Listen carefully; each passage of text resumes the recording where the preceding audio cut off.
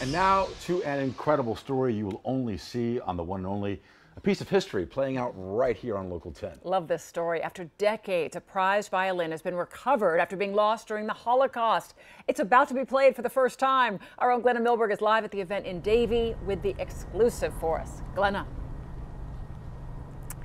Lori Louie, this beautiful restored violin will now be an instrument, if you will, of learning and of healing, and it is set to be unsilenced here for the first time in 70 years in just a little while.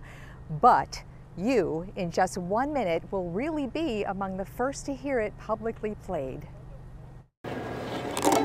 uncovered and about to be unsilenced in the gifted hands of New World Symphony fellow Yefim Romanov. The things that this violin saw and knows, it's kind of very unique and special. This violin was a result of over a year of searching.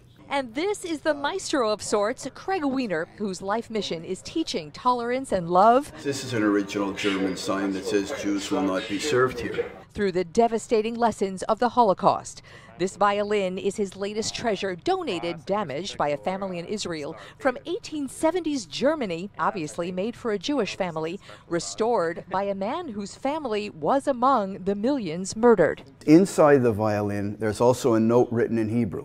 And it's a note that dedicates this violin to the victims of the Ponary massacre in Lithuania. There's a lot of anger and pain in that particular scratch. The violinist now feels the instrument and its history. It vibrates and it, you feel through the whole body just when you play through it.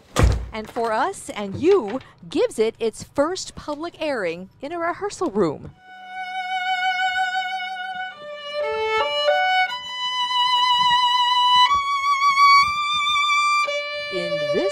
Surrounded by haunting images, the violin officially breaks decades of silence. What could this violin tell us if it could talk?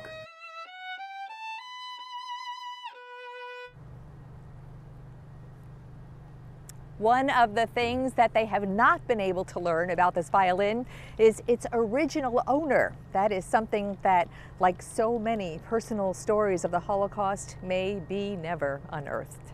I'm Glenna Milberg, live in Davie tonight, Local 10 News. Yeah, chills listening to that. Mm. Just beautiful. beautiful. Oh, Glenna, thank you. Mm -hmm.